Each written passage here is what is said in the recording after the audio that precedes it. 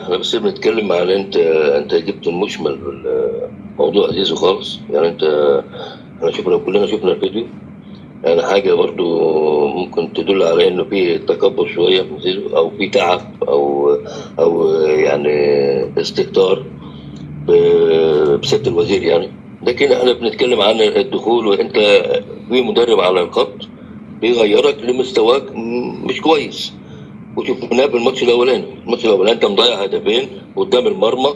لو عايز تغير حطها جول يعني أنت فين أنت؟ ما أنت انتقاد الجمهور. لا عمر الزمالك جمهور الزمالك عمره ما هينتقد زيزو. مين اللي بينتقد زيزو؟ الجمهور المنافس. اللي هو الأهلي. آه. تمام؟ أما تيجي تيجي تتكلم عن زيزو ماشي أنا معاك. أما أنت دلوقتي بتيجي تعاند في محمد هاني بمحمد النني. وبتقول مستوى وحش. مين اللي بيتكلم عن محمد النني وبيقول مست- مستوى وحش؟ هو جمهور الزمالك. آه. عشان ليه؟ عشان آه، محمد النني من ناشئي الأهلي. فانت لما تيجي تتكلم بتتكلم بالمنطق. خلي بالك ال- المو... الموضوع ده كو... الموضوع ده حلو جدا اللي انت بتتكلم فيه. آه. انك انت النهارده اللي بينتقد أسامها أهلي وزمالك رغم إن ده منتخب مصر وده موضوع أكيد. تاني يا جماعة. يعني النهارده يقول لك إيه؟ عبد المنعم وعاشور فين الوطنية يا أهلاوية؟ إحنا ادينا الزمالك أقول لك على حاجة يا صاحبي. الراجل جوميز بعد مباراة الزمالك وبيراميدز عمل كارثه هتقول لي إزاي؟ إزاي أقول عمل ثلاث تصريحات كلهم ضد بعض. اتكلم في المؤتمر الصحفي بكل احترام. ما جابش سيرة الأهلي. اتكلم بعد المؤتمر الصحفي على قناة ON Time Sport. ما جابش سيرة الأهلي. آخر حاجة اتكلم على قناة الزمالك. شوف إيه عشان أنت فتحت موضوع حلو قوي. قال لك إيه؟ قال لك إحنا ادينا مباراة قوية. أنا ما عرفت أنت زملكاوي ولا أهلاوي أنا بتكلم بما يرضي الله. قال له إيه؟ قال لك إيه؟ قناة الزمالك شوف الكلام اتغير. اتغير. لسه متكلم في المؤتمر. وعلى اون الم... الم... تالت مرة غير الكلام. قالوا له أنت على قناة الزمالك راح مغير الكلام. قال لك إيه؟ قال إحنا غصب عننا إحنا مضحيين بنلعب بالناشئين. ادينا أربعة للمنتخب الأولمبي غير فرق تانية. ما رضيتش تضحي عشان بلدها. أيوه أيوه. يعني الراجل. الراجل كأنهم بيرضعوه. يقول إيه؟ طب اشمعنى جوميز قال الكلام ده في قناة الزمالك؟ عشان بيته. لا وعشان هم محفظينه إنه ده اللي بيرضي المتعصبين في الزمالك. لكن كلامه في المؤتمر كان محترم. كلامه على أن كان محترم. زي اللي انت بتقوله انت بتهاجم النني ليه؟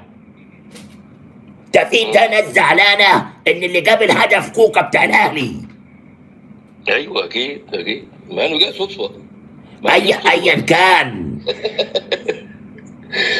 بص والله والله يعني أنا أنا في في في, في حيرة يعني. يعني أنت مثلا لما تيجي واحد زي الشيبي ده يعني أنا أنا خلي بالك يا أستاذ عبد الناصر أنا باخد منك الخبر وأنزله على صفحتي على التيك توك.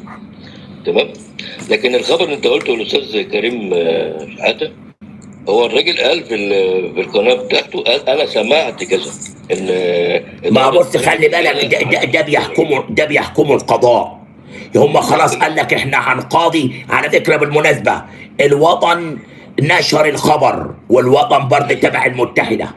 فإنت خلي بالك أنا ب- خلي بالك أنا بقى منزل الخبر ده على صفحتي على التيك توك ما خلي بالك أنت قد... انت محمد محمد هقول لك حاجة محمد لو جاب صفحتي دلوقتي هيلاقي الخبر موجود على التيك خلي بالك انت أنت قدام مشكلة كبيرة يا صديقي إن الناس عايزة ترضي ال social media. يعني مثلا إيه؟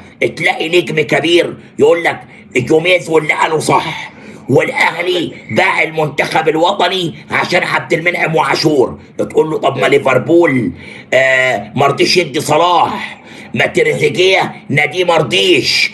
ما كان العالم كله العالم كله ما رضيش يدي النجوم. ما تعرف تتابع على فكرة بالمناسبة وعلى مسؤوليتي هذا الكلام. الاربعه بتوع الزمالك اللي راحوا المنتخب الأولمبي راحوا في صفقة. يعني إيه؟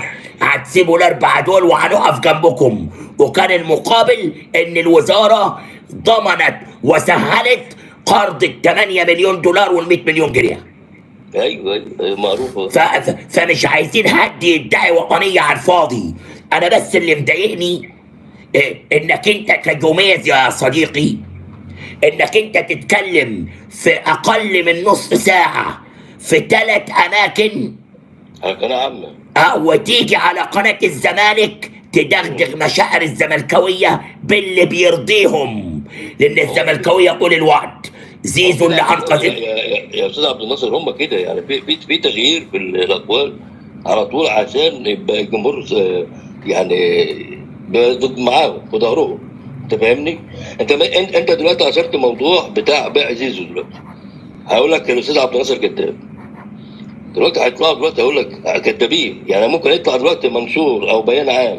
من المتحدث الرسمي بالزمالك ان الأستاذ عبد الناصر قال في تصريح ما كذا على السوشيال ميديا. لا لا ده ده ابوه أبوه أعلن. أبوه قال إن إحنا نستعد لجلسة مع الكابتن حسين لبيب. أنا بقول لك أبوه ضغط على المستشار مرتضى بقوة عشان يوديه آه، قطر آه، آه، يوم الخمسة مليون دولار. والنهاردة هم بيضغطوا بقوة عشان يمشوا. يا كابتن عبد الناصر أنت كلامك صح وكلامك خلي بالك أنت وخلي بالك عشان يكون عندك علم. جوميز قال لو عايزين تمشوا لاعب أنا موافق بس هاتوا لي البديل. يعني الناس الإخوة اللي بيسألوا في اللايف آه، على صفقات الزمالك. الراجل قال لو عايزين تمشوا سيف الدين الجزيرة أنا موافق. بس أنا أنا أنا أنا هقول لك تريكاية صغيرة كده. آه. ليه تواجد ناصر ماهر وعبد الله السعيد في خط النص مع إن دولت نص مهاجم؟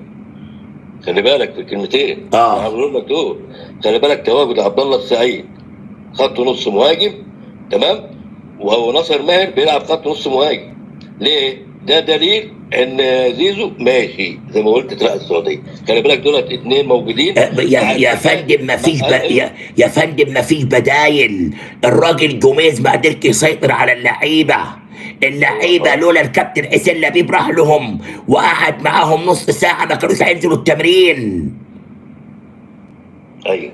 إحنا مش هنضحك على بعض. هو أنا مشكلتي مع أخواتي الزملكاوية. أنا مش ضد الزمالك. أنا بقول أخبار. يجي يقول لك ما بتقولش عن الأهلي. طب ألف. الأهلي بتجيب الخبر بالعافية. في الزمالك بيصحوك من النوم يدوا لك الأخبار. أعمل إيه؟